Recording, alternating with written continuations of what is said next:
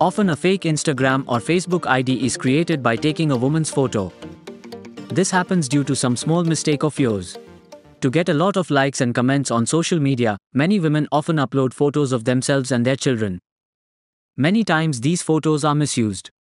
In such a situation, take special care that no one is misusing your Facebook profile photo. Is a fake Facebook account being created from your WhatsApp DP? Every day, many such cases come to light, in which a fake ID is created by taking a photo from Facebook or Instagram account. This happens more especially with the photos of girls, women, or children. If you also remain online on social media throughout the day, then be careful, a small mistake may become a big problem for you. Minimize the uploading of photos. Use social media platforms like Facebook, Instagram, and Twitter very carefully. Share any data along with the content carefully. Especially avoid sharing your or your family's photo because your photo can be misused. Someone can create a new account using that photo or post it on another site without your knowledge. Also ensure that none of your photos can reach social media through a smartphone.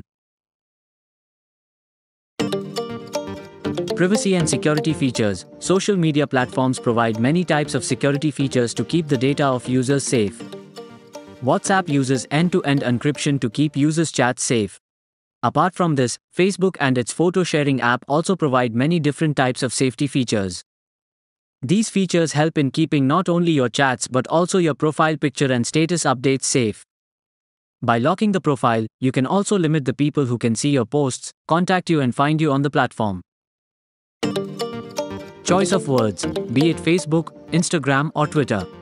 Be careful in choosing words while writing something on social media, because what you write goes far and people form an opinion about you from it. Therefore, whatever you write, use good and selected words.